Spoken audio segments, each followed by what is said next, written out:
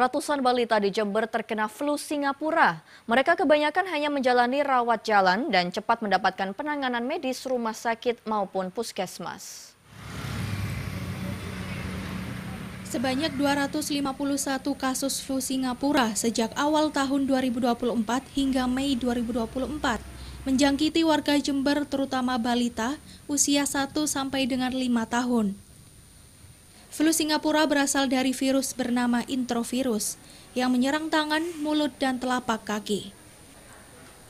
Penderita yang diserang virus ini pada bagian mulut mengalami mirip sariawan, serta telapak tangan dan kaki ada bintik-bintik kemerahan yang kemudian melepuh. Penderita umumnya mengalami demam, batuk, dan sakit tenggorokan. Itu sebetulnya bukan penyakit seperti influenza, tetapi sebenarnya flu Singapura itu cuma namanya saja tetapi bentuknya yang kita kenal adalah HFMD hand mouth foot disease.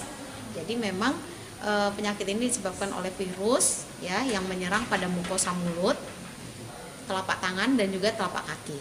Kalau di mukosa mulut biasanya bentuknya seperti sariawan. Tapi kalau pada telapak tangan dan telapak kaki biasanya muncul bintik-bintik kemerahan yang nantinya akan berubah seperti melepuh seperti itu yang berisiko adalah cairan.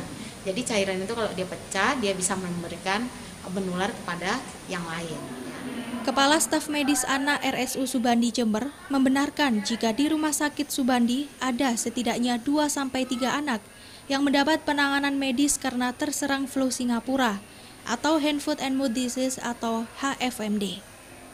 Namun sejauh ini mereka dapat sembuh dengan cepat karena kesadaran orang tua untuk langsung meminta tindakan medis rumah sakit atau Faskas. Ini memang tidak ada obat, obatnya secara khusus untuk virusnya. Ya sampai sekarang belum ya. Kemudian untuk kekebalan, untuk vaksin sampai sekarang juga belum ditemukan. Mudah-mudahan nanti ditemukan uh, vaksin yang bisa untuk mencegah ini. Dokter untuk pencegahan dini barangkali. Betul. Untuk pencegahan dini jadi harus jaga kebersihan. Ya, kemudian pasien harus diisolasi dan kita jaga jarak. Penyakit ini memang tidak mematikan, namun diperlukan kewaspadaan bersama untuk memeranginya, yakni dengan terus menjaga kebersihan lingkungan, personal higienis, asupan nutrisi yang baik. Dari Jember, Bambang Sugiarto, iNews melaporkan.